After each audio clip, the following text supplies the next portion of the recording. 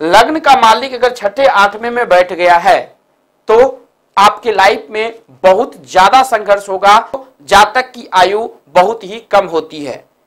और आयु से संबंधित, यानी शारीरिक संबंधी प्रॉब्लम्स बहुत ज़्यादा होने की संभावना बताया जाता है। इस सीरीज़ में पढ़ रहे हैं आयु के बारे में। देखिए, अगर किसी भी जातक का लग्न, हम तीन चार्ट के बारे में बात कर रहे हैं, इसको तीक्ष्ण रूप से आपको समझना है और जब भी आपके पास में कोई भी कुंडली आती है या आपका अपना लग्न चार्ट है तो आप ज़रूर इसमें देखिए, बच्चे की लग्न चार्ट के बारे में हम बात कर रहे हैं। जैसे अगर किसी भी जातक के लग्न, यानी कि लग्न से नवम भाव में सूर्य बैठा हो, यानी कि नवम भाव ये हो गया, इस घर में अगर सूर्य बैठा हुआ है अब देखिए गिनेंगे लग्न से। एक, दो, तीन, चार, पाँच छ सात, आठ, नौ। नाइन घर में अगर सूर्य बैठा है और सप्तम में शनि बैठा हो। देखिए, सप्तम में शनि अगर बैड स्थिति में किसी भी जातक का बैठता है तो बहुत ज़्यादा प्रॉब्लम देता है, वैवाहिक समस्या को लेकर। और दूसरा, शादी, क्योंकि जो बिज़नेस का भी घर जो होता है, शादी के अलावा वो सप्तम घर ही होता है।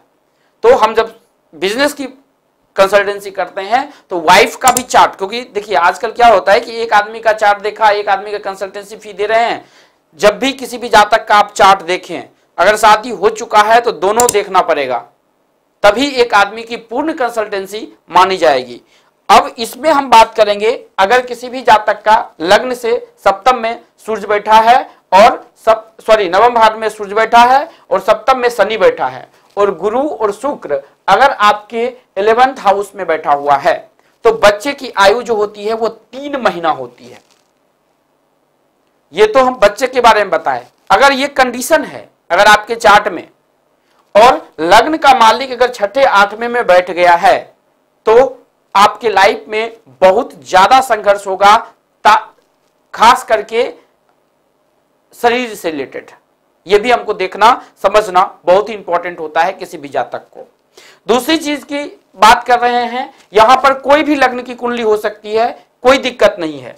बस चंद्रमा अगर इस चारों घर में बैठा हुआ है, इस चारों घर में बैठा हुआ है और इस पर शनि की दृष्टि अगर पड़ गया है, यानी कि शनि की दृष्टि कहीं से भी पड़ गया है मंगल की दृष्टि पड़ गई है तो लाइफ में बहुत ज़्यादा संघर्ष करना पड़ता है। अगर चंद्रमा पाप ग्रह में बैठा हुआ है तो अब ज़रूर इसका उपाय करवा लीजिए नहीं तो लाइफ भर आपको संघर्ष करना पड़ेगा।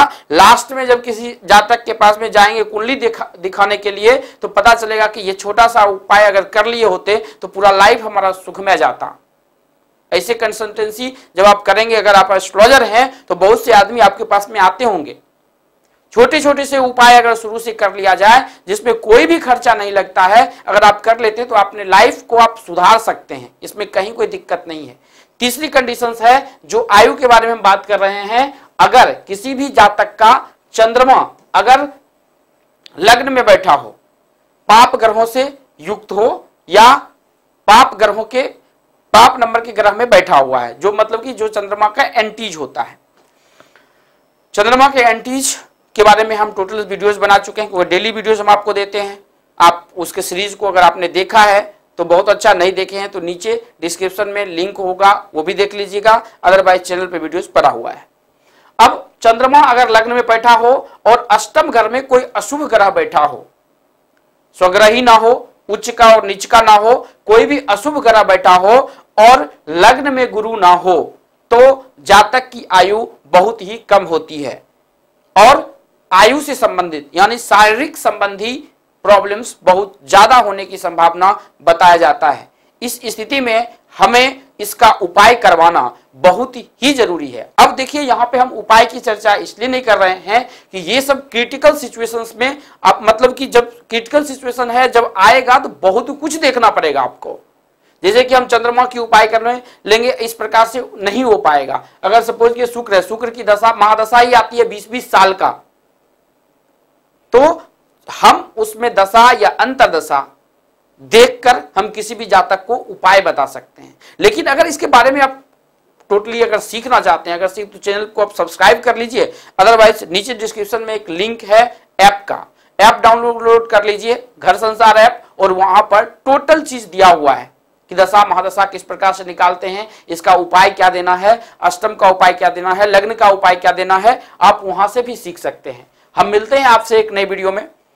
आपके पास में कोई भी सवाल है तो नीचे कमेंट में लिख दीजिए और आपको शारीरिक संबंधी कोई भी प्रॉब्लम्स है तो आप नीचे कमेंट में आप अपना date of birth timing place ज़रूर लिख दीजिएगा।